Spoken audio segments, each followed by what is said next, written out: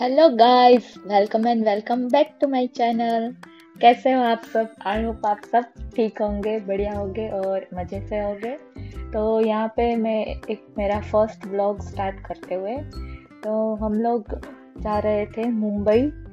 Train journey कर रहे थे। तो मैंने सोचा कि ट्रेन की थोड़ी बहुत क्लिप आप सबको दिखा दूँ। तो मैं ब्लॉग स्टार्ट करती थी और इन सबको पूछ रही थी कि कैसे आ रही हो? ये मेरी बहन है और ये मेरी फ्रेंड है। और यहाँ पे मेरा, ये मेरा हस्बैंड है। तो वो लड़की देखो पीछे से कैसे देख रही है। वो भी वीडियो में देख रही थी कि ये क्या कर रही है। वो उसे हाई बोल रहा है। तो यहाँ पे मैंने ब्लॉग की स्टार्टिंग की और हमारी जर्नी स्टार्ट हुई मुंबई के लिए। और ये मैं यहाँ पे सबको पूछ रही थी कि एंगल सही से आ रहा है या नहीं आ रहा है।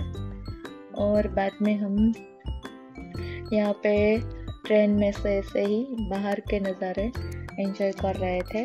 आप सबको कितना पसंद है ट्रेन में से ऐसे बाहर देखना? मुझे बहुत पसंद है। कुछ भी नहीं दिख रहा, बस ये ग्रीनरी दिख रही है तो बहुत मज़ा आता है ट्रेन में।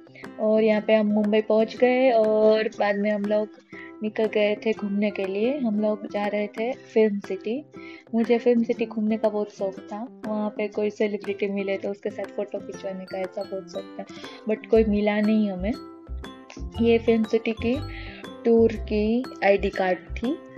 और फ़िल्म सिटी में हमने ऐसे तो कुछ ज़्यादा देखा नहीं बट सिर्फ़ ये एक मंदिर था और कोई कोई शूटिंग पॉइंट थे कि वहाँ पे कोई मूवी का ऐसा कुछ शूट हुआ हो।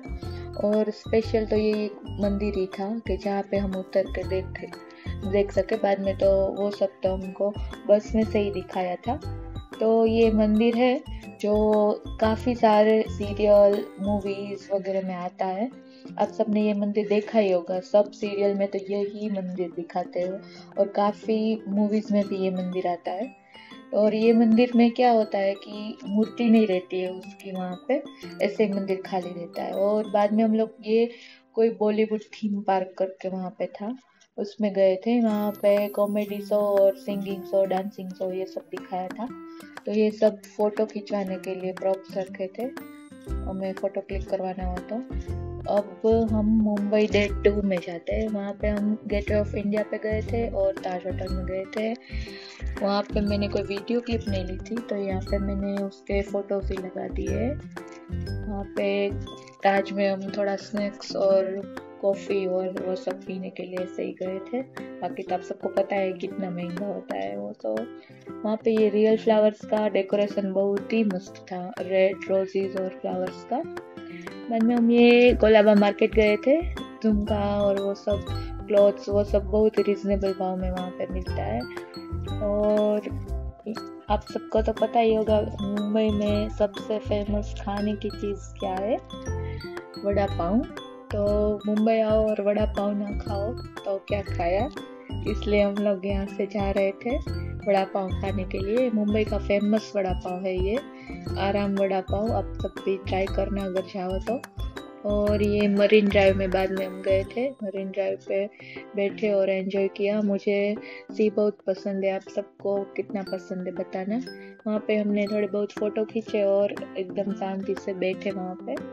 और बाद में हम लोग जा रहे थे पलेडियम मॉल और सीलिंग पैसे गए थे तो मैंने सीलिंग का थोड़ा क्लिप लिया है। और मुंबई में हम पलेडियम मॉल गए और वहाँ पे थोड़ी बहुत शॉपिंग की। और बाद में हम सो गए। Bye good night